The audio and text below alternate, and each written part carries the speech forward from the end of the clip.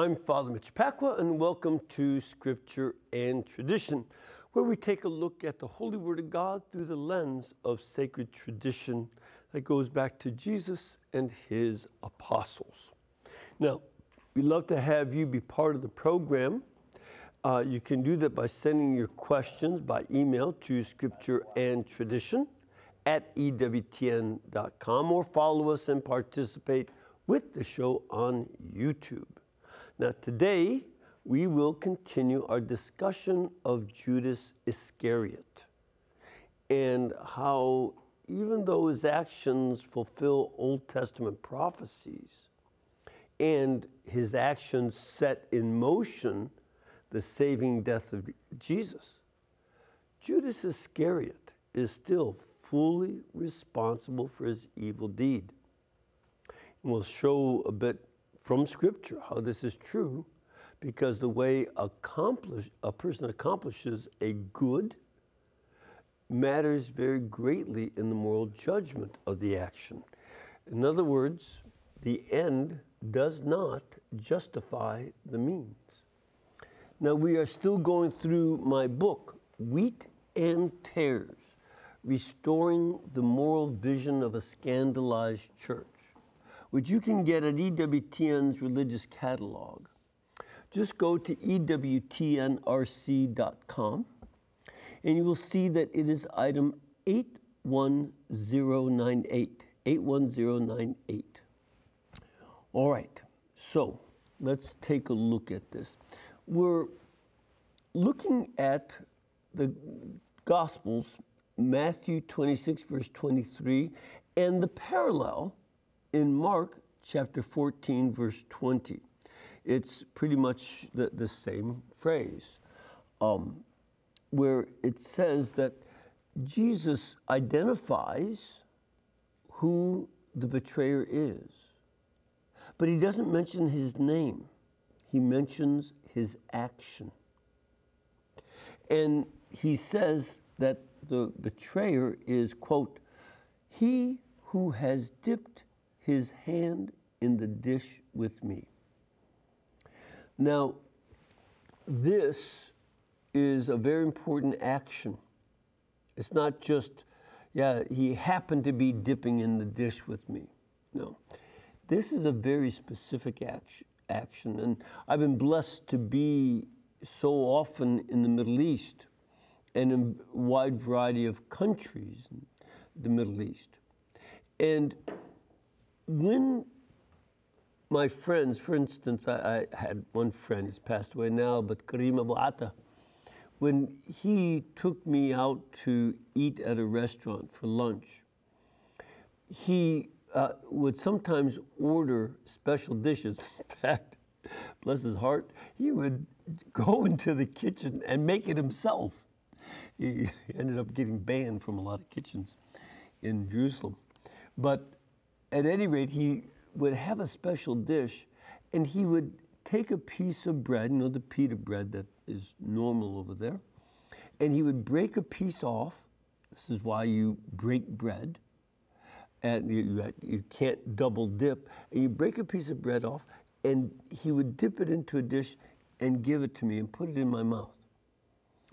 That was something we wouldn't do in our culture it's not a normal thing uh, for us to do. Uh, but over there, it's, it's, something totally acceptable. And it is a sign of great friendship and trust that, you know, I knew that he had such a fine taste in food. And so I trusted him to give me something that would be good to eat, but he also trusted me that I would accept his gift. You know, so that is a sign of friendship. The reason I go into all this is that this friendship is what Jesus is extending to Judas. To dip into the same dish is a sign of trust. In fact, there's an etiquette. You know, say you have a dish of hummus or some other dish, and they'll, they'll always put some olive oil on top. And then polite people take their bread and dip it along the edge rather than going right through the middle and into the olive oil. You dip along the edge and work your way toward the olive oil. That's a sign of politeness. And again, friendship and trust. Judas is dipping the bread in the same dish with Jesus. And this is our Lord extending to him one last effort, one last motion to show that I still want you to be my friend. Something that our Lord will say later on in the Last Supper after he had left. I no longer call you servants, but my friends. He wanted to have Judas as one of his friends. And Judas does not respond well. Now, Jesus had predicted the betrayal, and he identified the traitor with this act of friendship. And he extended his hand at this last moment in order to revive the relationship so it wouldn't be broken by betrayal. And this is, again, this last moment, but by mentioning this act of dipping the morsel of bread, the little piece of bread, uh, but morsel, I don't know, um, I wouldn't use that so much. Some translations do, but it's just a small piece of bread that you break off of a, a flat bread.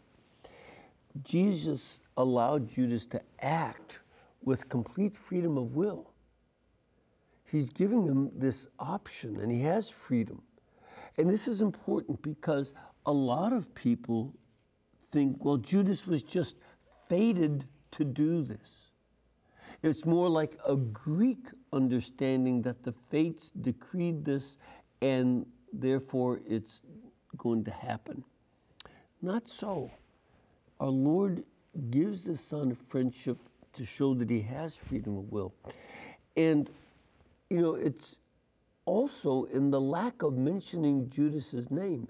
Had he said, Judas Iscariot is the one who is betraying me, you can be sure that the other apostles would have jumped on him and restrained him from going back to the, the high priests to lead the uh, police over to betray Jesus.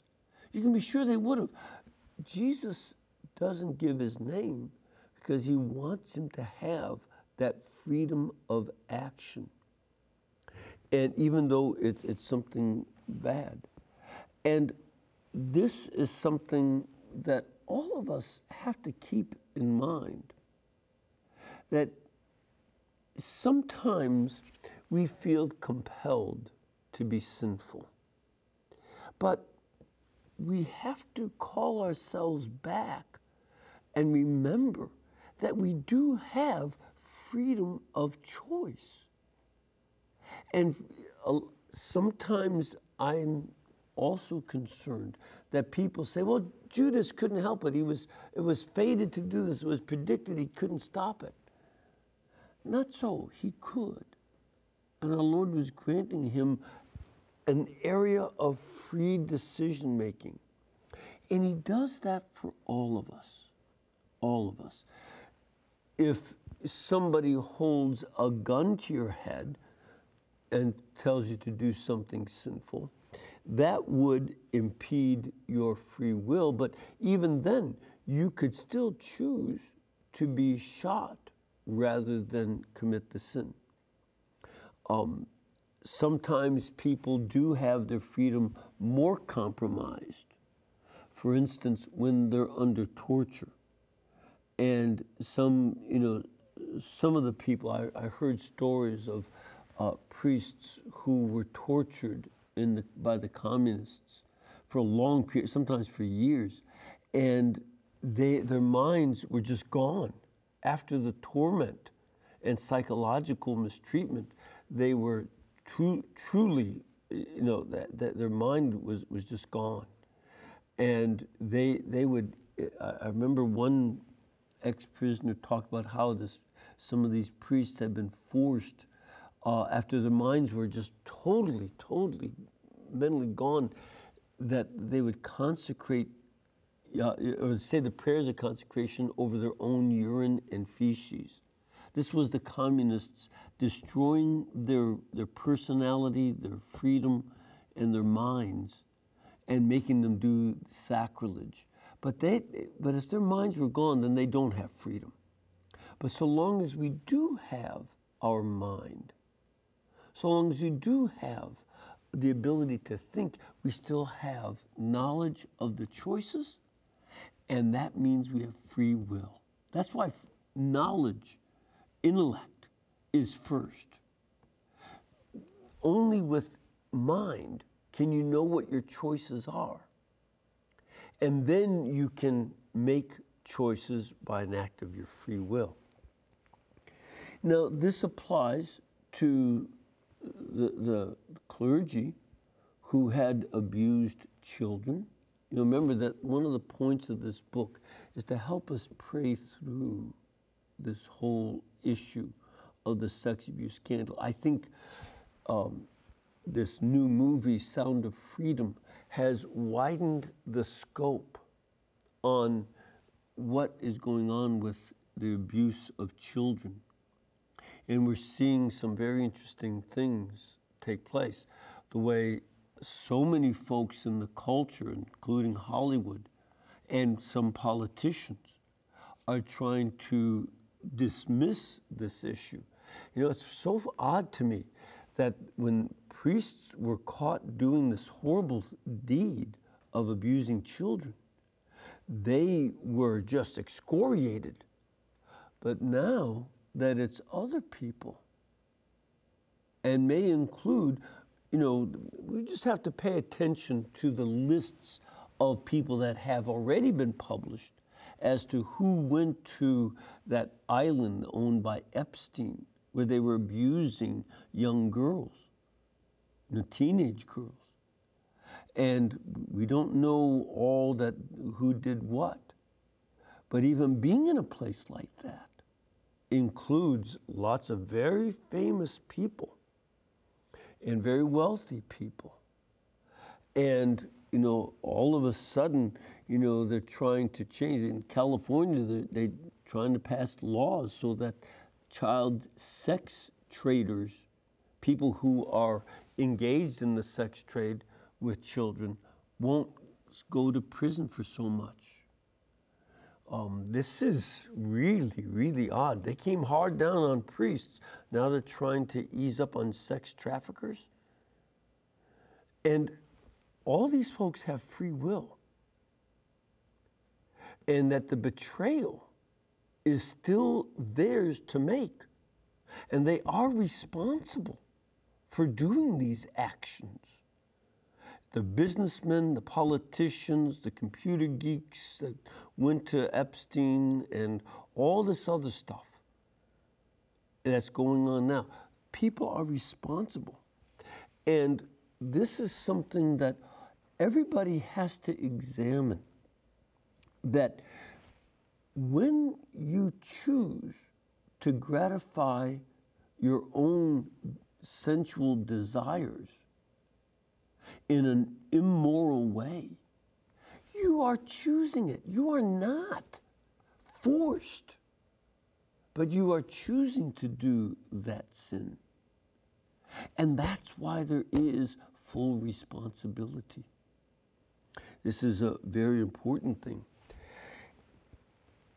The other possibility is that anyone, whether a priest or a politician or businessman or any other person who attacks the dignity of the young and sexually abuses them, they can be reformed It's possible for them to change.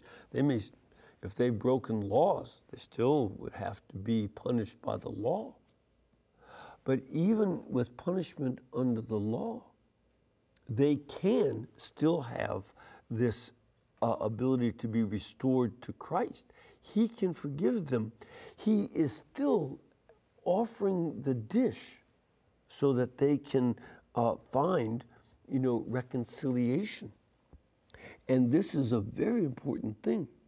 You know, when when it was the priests who did this, they were celebrating Mass, and Jesus still offered himself to them in Holy Communion. He was making that offer. And the question is always going to be whether they sacrilegiously accept Christ's self offering and continue to sin, or they also accept his offer of reconciliation in confession and make a firm resolve to amend life and change their lives and see this, Jesus cleanse their souls and bring them into a saving relationship with Jesus. This is the call for all sinners and anybody who is involved in any aspect of the sex trade needs to remember that. And any abuse of anybody, whether it's a child or an adult, is abuse. And we have a choice to make. Will we stop doing that? Or will we and accept Christ into our lives, accept Him to forgive us, and begin to heal us? Or will Christ you know, have to send us out into the darkness? This is the choice. And by the way, this applies to anybody who's watching pornography. You have to keep in mind that there's some people who do pornography by their own free choice. It's still wrong. It's still wrong. It's still a sin to look at it and to do it. But we also have to remember a number of these children are drugged. That's the chain that they use on these children is drugs. They don't hold them down with iron chains. They do it psychologically with drugs. And they force them into some of these movies and whatever they do in the uh, pornography. And that, uh, being part of looking at pornography, is putting yourself at risk not only for the sin of lust, but also of participating in sex slavery you know, I was blessed to be able to talk to a lot of police and learn about these things from them. And that this is very real. All these people are trying to make this a right wing conspiracy. Watch them. Watch them. Are they covering up for themselves or for their friends? This is a question that I'm, I have raised and these politicians who are trying to not let this be so serious a crime all of a sudden, are they covering up for themselves or for some of their friends or their, their donors? This is a question I, I don't know, but I would raise the question. And when you know, uh, citizens have to check on that themselves to make sure they're not participating in it. All right, let's take a break and we'll come back and talk more about what Jesus has to say in regard to Judas Iscariot's responsibility. So please stay with us.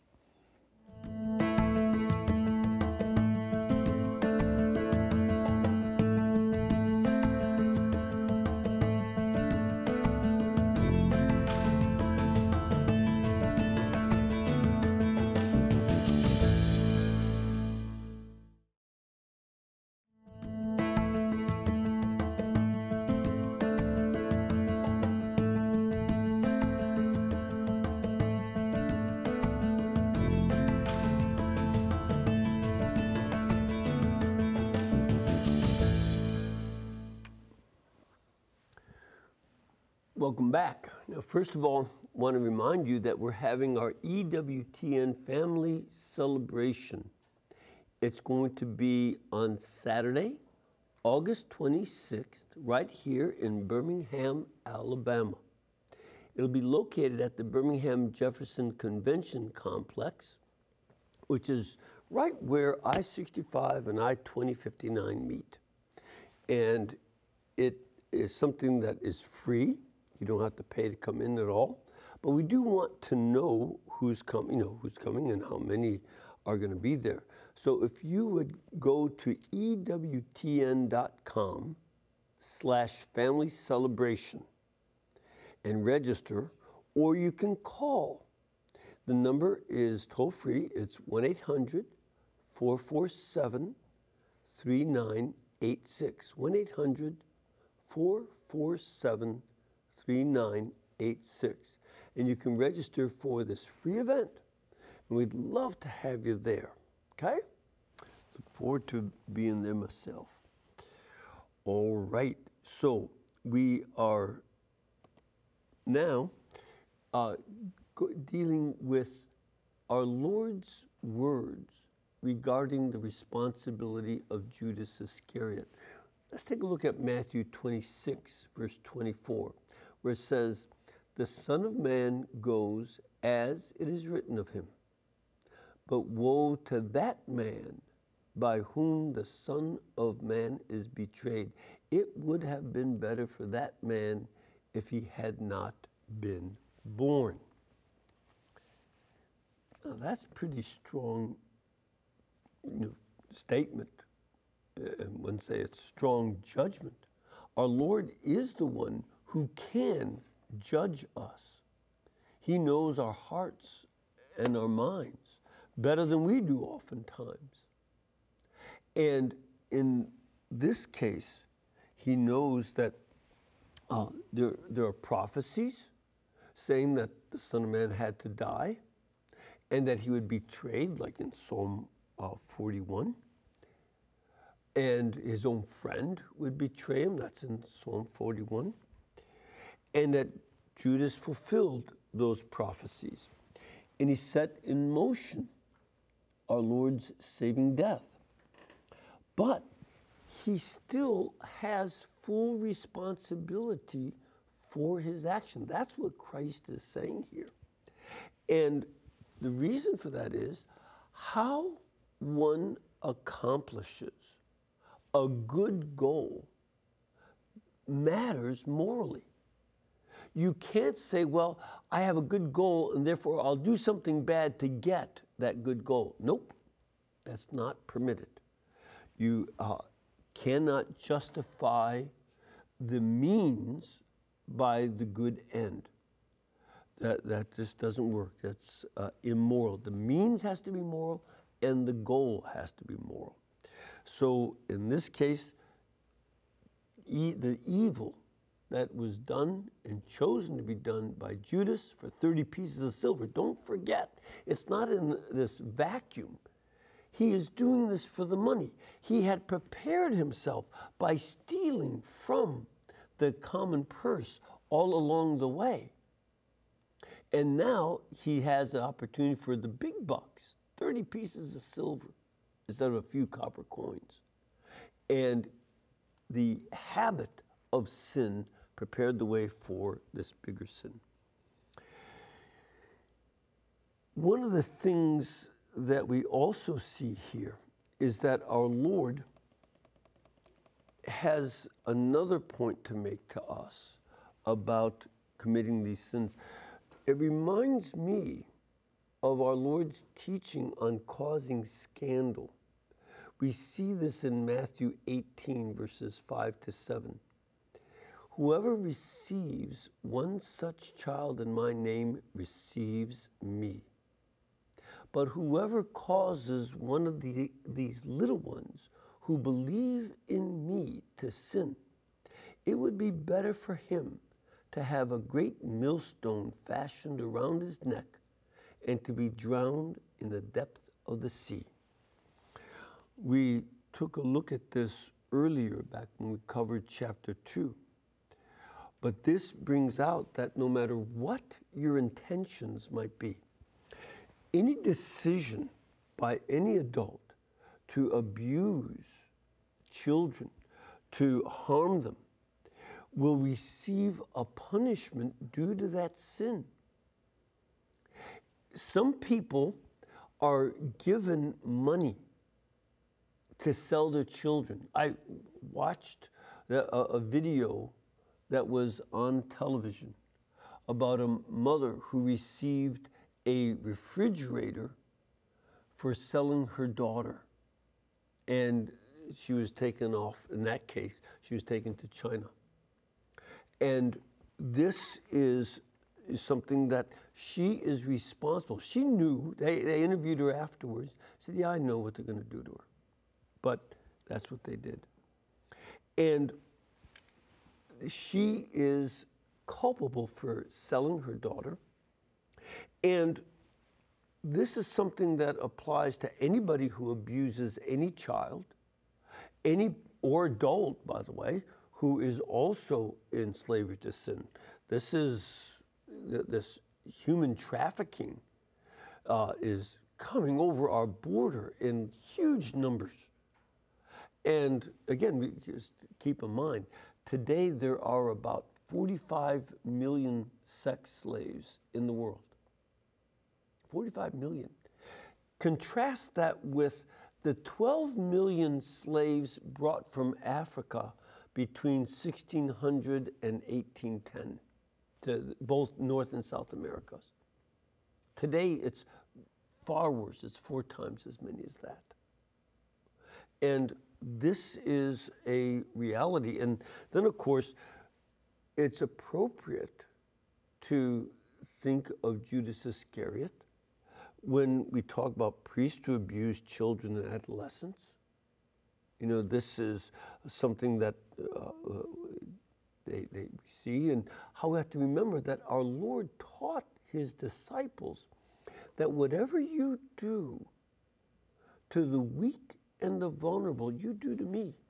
If you help them, you are doing that help to Jesus. Remember in Matthew 25, whatever you do to the least of my brethren, you do to me. That applies to the sexual abuse. It applies to abortion. We have politicians who call themselves good Catholics and promote abortion.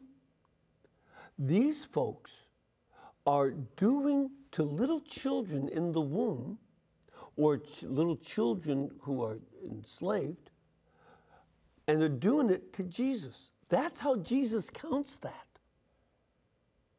You cut babies apart. Jesus counts that as being done to him.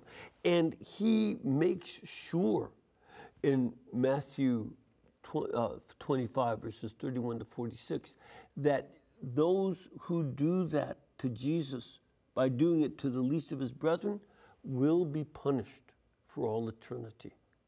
This is the reality. He will judge every single individual for what they do wrong. And this is something that we can't neglect. Then we also have to take a look at another aspect.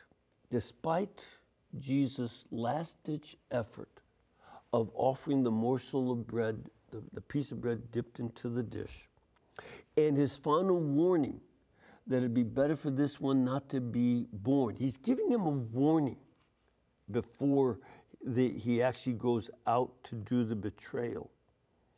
Um, we see that Judas did not change his mind. Notice how he cynically asks Jesus in Matthew 26, verse 25 Is it I, Master? And he, as Jesus said to him, You have said so. This is Judas making it a firm decision. And he has full responsibility even for this cynical question. He knows it's he. He knows it. And he cynically asks, Is it I? And he also has full responsibility for the deed. And it's at that point that Judas, who are again, he had been consecrated one of the first 12 bishops, the first 12 bishops of the church. He was just finishing having received his first Holy Communion at the Last Supper. And he's filled with cynicism and with a decision to get money and betray Jesus. This is what he does. And so he goes off into the darkness of the night. And his move to the darkness after, the, after leaving the upper room is exactly what goes on. People who betray Jesus, people who betray the faith, priests and bishops who betrayed Jesus and the faith, whether by abusing young people or by denying the faith or denying them or trying to, to do what these politicians are doing and justify immorality. We have bishops and priests, theologians who would try to justify immoral actions. And that is something that has them going off into the darkness like Judas. And we have to keep in mind that anyone who betrays Jesus, either in the least of his brethren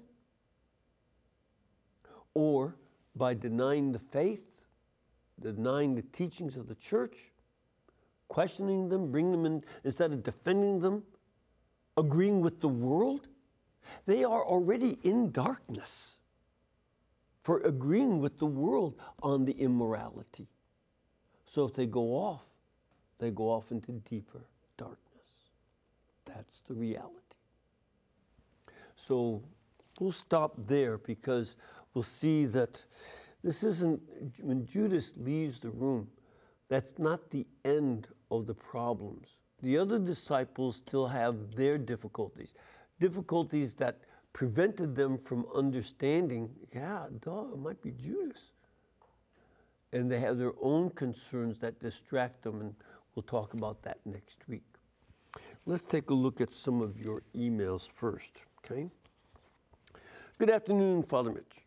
In regards to the Last Supper, did they share a paschal lamb as part of the meal? I've heard that they did not, since Jesus was the new paschal lamb. Can you clarify, please? Yes. One of the things going on, if you recall, something I mentioned about the Last Supper and the dating of the Last Supper. Passover began the at sunset on Friday, right after Jesus was crucified. That's why they took Jesus down from the cross because the Passover was beginning that evening at sunset. So they need to have him off the cross before then. Okay? So they wouldn't have the Passover lamb. But why are they celebrating the Feast of Unleavened Bread and you know the, and the Passover? What's going on? Well, if you remember something I said also earlier, that the Essenes, which was a sect within Judaism at the time of Christ, they they apparently lived mostly the core of the community lived at a place called Qumran, down by the Dead Sea. It's where they found the Dead Sea Scrolls, and they were the ones who apparently wrote the Dead Sea Scrolls, the Essenes. But they had a community in Jerusalem, and the upper room is in their neighborhood. Archaeologists have shown that very well. And so they celebrated Passover on Wednesday, not on Friday. So they started their Passover on Wednesday, and the uh, Pharisees and Sadducees celebrated on Friday at sunset.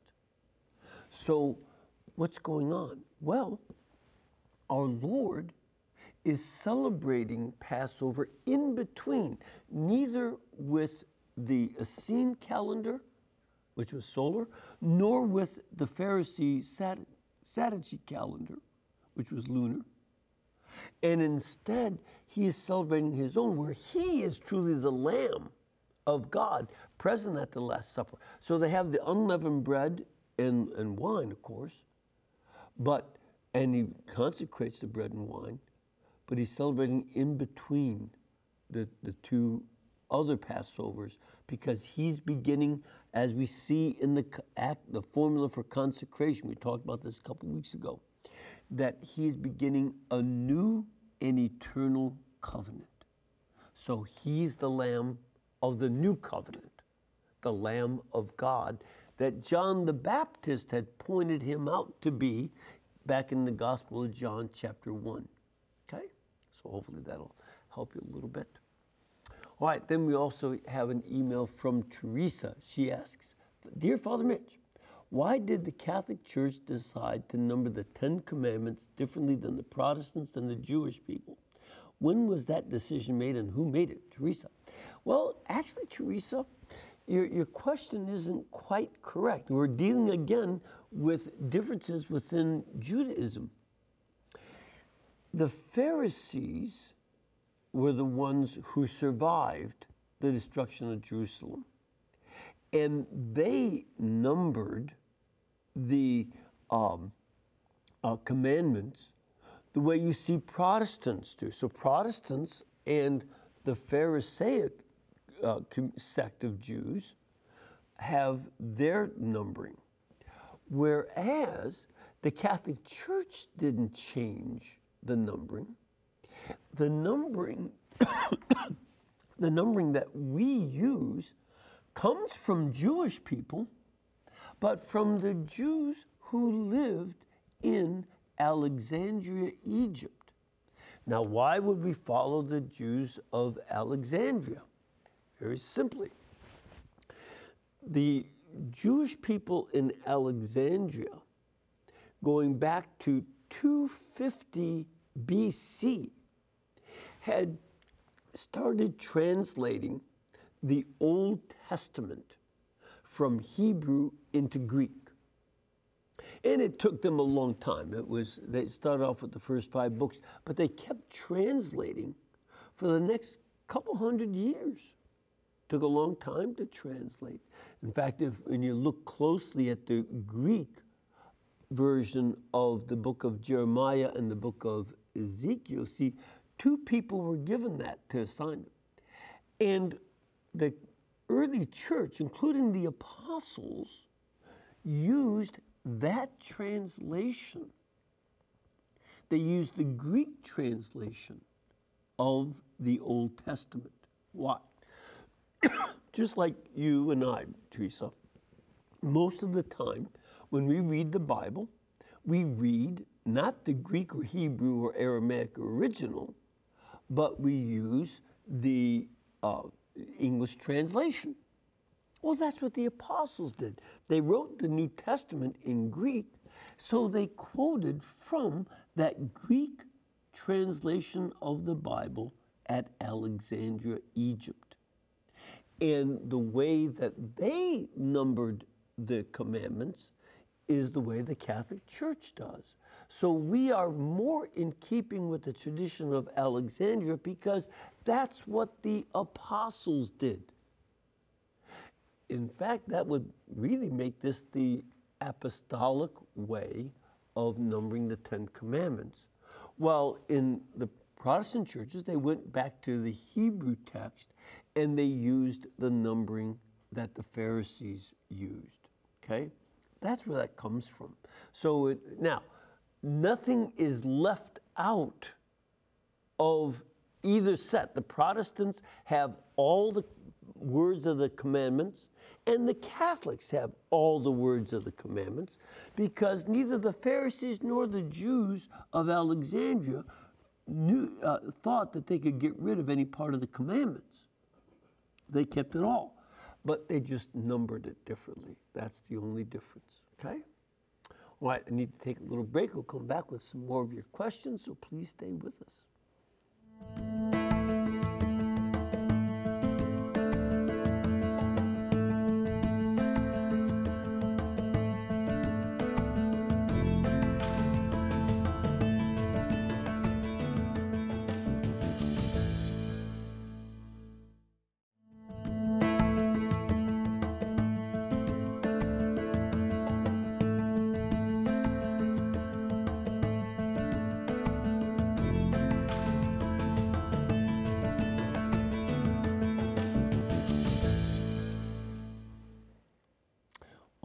First of all, I want to invite you to join me tomorrow night at 8 p.m. Eastern Time for EWTN Live.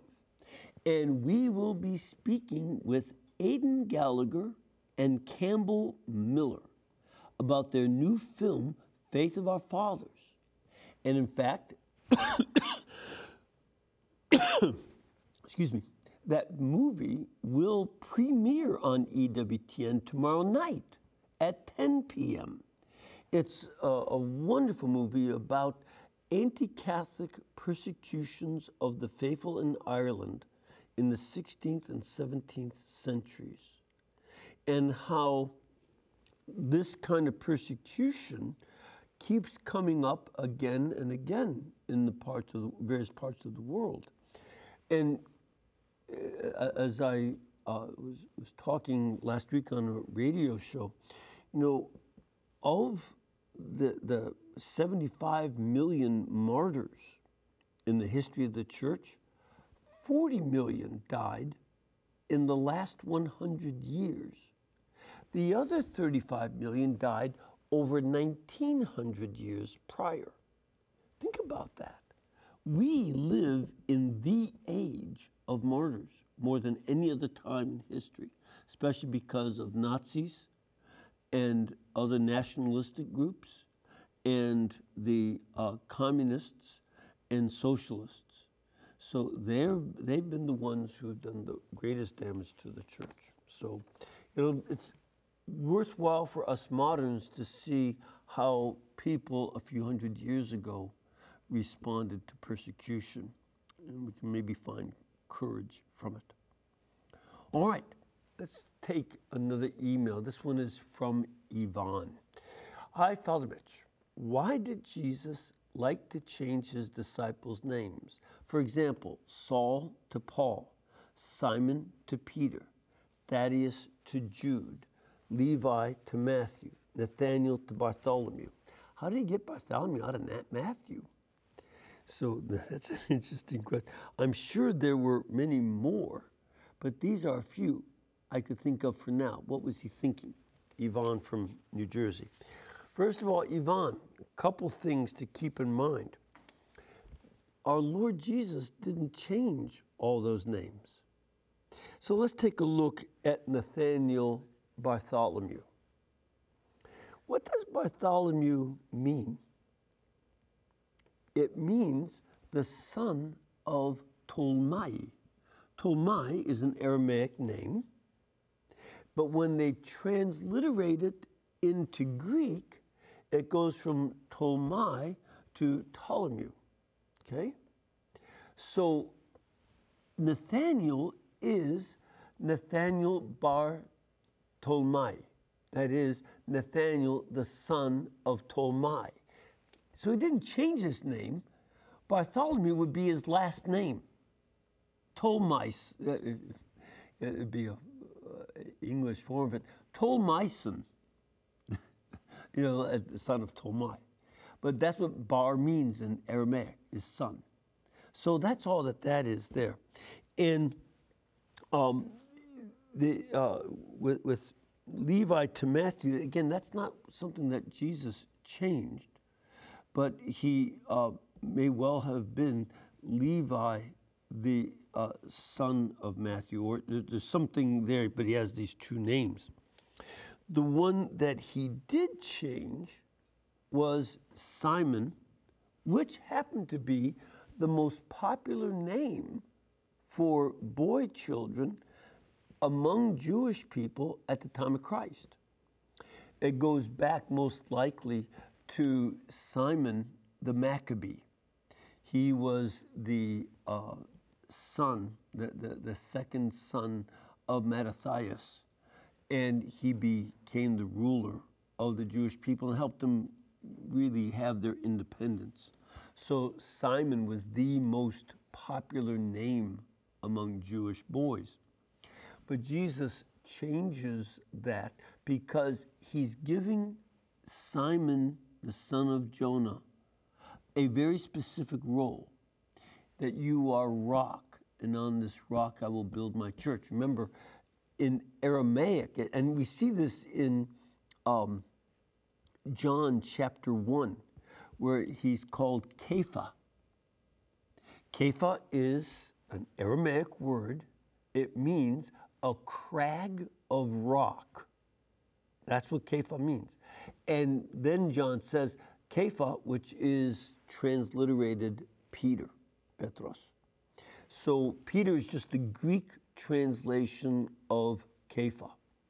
And this is a very unusual name. It only is a name for one other person that we know of. And that is a man who lived in the late 5th century BC on Elephantine Island. Elephantine Island is an island in the middle of the Nile River at the first cataract. And there was a wedding contract. And the man's name, uh, one, one of the people, they have a number of wedding contracts, but in this wedding contract, there was a guy whose name was Kepha. It's the only time we see that. And it makes sense down there because Elephantine Island is itself a crag of rock in the middle of the Nile. The Nile just sort of has to go around it. And a lot of other rocks all over the place. So he's might well be named after the place. It's a really cool place to go. Um, and so just don't go in the summer. It's hot. When I was there, it was 142 degrees above zero. That's hot. And so, um, you know, uh, that's the one guy. Jesus is making Peter the rock on which you'll build the church. And so that's why he's called Kepha. Now, with Saul to Paul, that's again, Jesus didn't make that change. Paul did. Why did he do that? Well, if he was going to go around the Greek speaking world, which he did, he traveled all through Asia Minor and into Greece. And if he said, Hi, my name is uh, Saulos, Saulos, that's how they'd have to give the name because they Greeks can't just end a name like Saul, be Saulos. And if he used that name, it'd be kind of an embarrassment because Saul is a good Hebrew name. Uh, Shaul, Shaul, and it means the one who was asked for. Whereas Saulos in Greek means effeminate. So he'd be going around saying, Hi, I'm Girly Man uh, from, you know, Tarsus. That would be a, a very odd name as far as Greeks were concerned, you know, to introduce yourself as Girly Man. So he changed the first letter of Saulos to Paulos because Paulos was already a long term existing Greek name and that's why he did that. Just you know, sometimes you um, you know when you chant, go from one language to another, your name can have different meanings than intended. Uh, for instance, my own first name, Mitch, um, in Quechua, when I was working in Peru, in Quechua language, my name means a cat, like a pet cat. Uh, and so they were laughing at my name. So I had to come up with something else. It's one of those things that happens with language. All right, let's now take a, um, an email from Annette. It says, Father Mitch, I'm confused about 1 Samuel 16, verse 23. Whenever the evil spirit from God came upon Saul, that is King Saul, after whom uh, St. Paul was named, David would take the harp and play, and Saul would be relieved and feel better, for the evil spirit would leave him. This makes no sense to me. Why would God send an evil spirit to Saul? Okay, so that's the, um, the first part. And then also, why would he choose David to succeed Saul, knowing what David would do to Uriah and his wife? David certainly doesn't seem like an upright man. Then there's Solomon, when his great wisdom and understanding, when he chose to turn away from God and follow the false gods of his wives. I really don't understand why God let these men become kings over Israel and would love to hear your thoughts. Annette. Well, a couple things going on here. The first part, I think, is the, the, the bigger uh, issue to, to start off with. Why did God send an evil spirit? The ancient Israelites had a very poorly developed understanding of the angels, whether the good angels or the bad. They didn't, they hadn't really thought through a lot of things.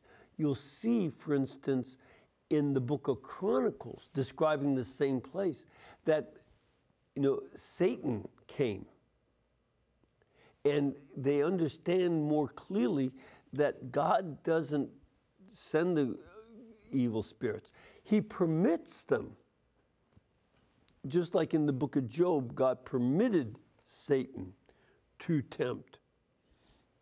But Satan does the tempting. And that's what was going on. And also, what Saul would go through was some sort of a fit. He, he had a number of you know the, these fits, and they understood this as God punishing him for disobeying God about offering some sacrifices and keeping some animals earlier in the book, uh, in chapter 15. So this was something that God is in charge of everything, but their understanding of the free will of the spirits was very vague. It took a few centuries for them to understand that, but about 500 years before they got a better grasp. So it's the first attempt to explain the role of the demons. The second issue about choosing David. David was righteous and did very righteously when he was called. But after he became king and then stopped going, he didn't go out with his army to fight against the Ammonites when the Ammonites started a war with Israel. He stayed home and he gave in to temptation on his own. So he was righteous when he was made king, and he delighted the Lord and was his darling. In fact, that's what David means, his darling. And yet he still sinned. When Solomon started, he was, you know, wise, but he became foolish over having too many wives and then following their gods and listening to them. So this is included here to be a warning. All of us are fallen. All of us can give in to sin and temptation. And we always have to be on our guard because no matter who you are, you can start off real well, but you can always fall into sin. And that's one of the things going on there. It just does with Judas. He was called to be an apostle and he sinned. All right, we're out of time. May the Lord bless you and keep you and cause his face to shine upon you. May God bless you, the Father, Son, and Holy Spirit. And please remember to keep us in between your gas bill, your electric bill, and your cable bill. And we'll be able to pay all of our bills too if you do that. God bless you all and thank you.